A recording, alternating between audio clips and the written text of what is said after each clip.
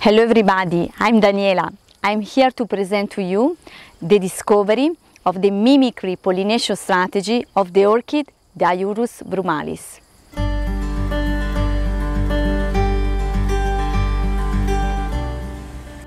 We are in the southwestern Australian corner, an hotspot of biodiversity where Diuris brumalis grows.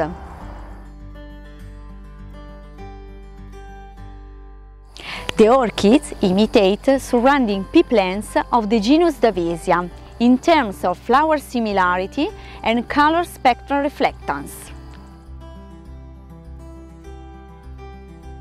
But why does the orchid imitate surrounding pea plants? Pea plants produce nectar, while the orchid not. For maintaining this strategy, the orchid has to be less abundant than its model and anticipate also the flowering peak of pea plants. Native bees of the genus Trichocolletes, solitary Australian bees, confuse the orchids for surrounding pea plants. In their attempt to look for nectar, they don't find it, but the pollen of the orchid remains attached on the head of the insect. We have observed many of them on pea plants, carrying orchid pollinia while foraging nectar and collecting pollen on those pea plants.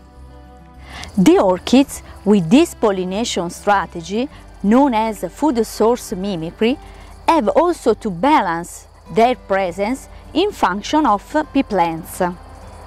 We found that when pea plants are absent, the success of the orchid is almost zero. Such an incredible evidence of cohabitation. Carrying this balance, avoiding competition, the orchid generates its ecological space and its beauty for all of us.